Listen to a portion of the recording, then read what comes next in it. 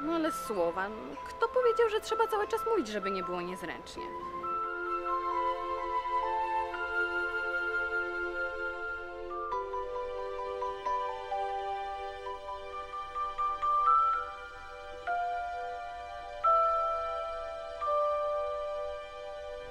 No nie męcz mnie już, powiedz coś.